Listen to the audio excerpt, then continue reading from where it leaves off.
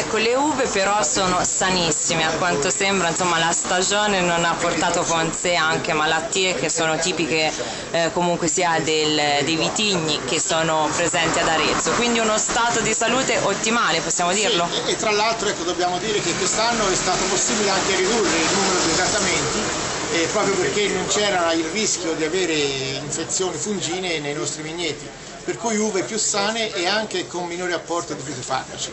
Che vino sarà quello della vendemmia 2012? Beh, è un po' presto perché saranno i prossimi giorni a definire la qualità delle uve. Eh, probabilmente avremo dei vini con gradazioni alcoliche elevate, eh, sarà importante avere un abbassamento termico per migliorare il quadro anche aromatico, perché le alte temperature rischiano di ridurre la quantità di aromi presenti nelle uve e poi nei vini. Un settore che ci dà particolari soddisfazioni, anche i dati di questi ultimi anni di crisi economica evidenziano come questo settore, soprattutto nell'export verso gli altri paesi, tenga e addirittura abbia migliorato le posizioni, nonostante appunto le difficoltà.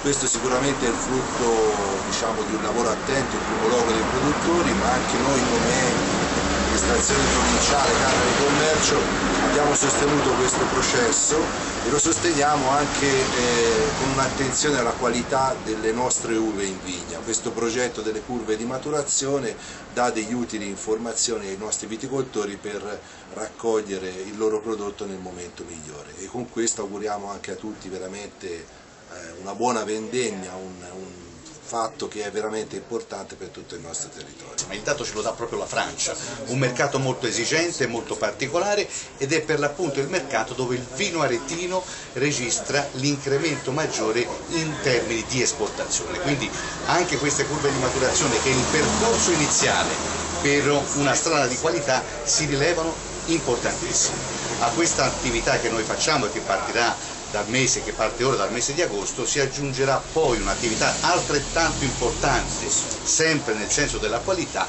che saranno le commissioni di degustazione. In Camera di Commercio abbiamo questi esperti degustatori che saggeranno il vino sempre in termini di qualità organolettica e quindi di qualità prima dell'immissione in consumo. Quindi crediamo di aver avviato un circolo virtuoso che parte d'oggi e si sviluppa poi nel corso dei prossimi mesi che dovrebbe garantire al nostro vino una qualità notevole e quindi anche una spendibilità migliore su tanti mercati internazionali.